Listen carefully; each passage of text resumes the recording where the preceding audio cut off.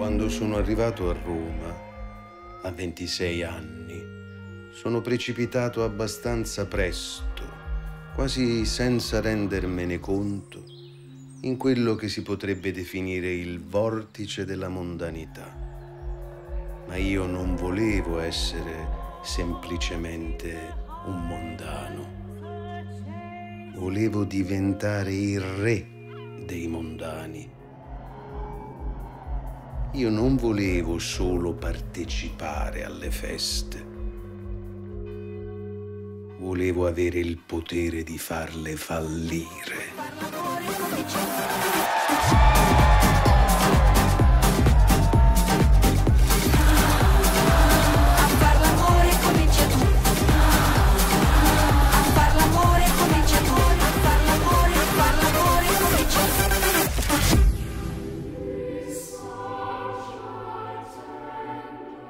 Tutto sedimentato sotto il chiacchiericcio e il rumore, il silenzio e il sentimento, l'emozione e la paura, gli sparuti incostanti sprazzi di bellezza e poi lo squallore disgraziato e l'uomo miserabile.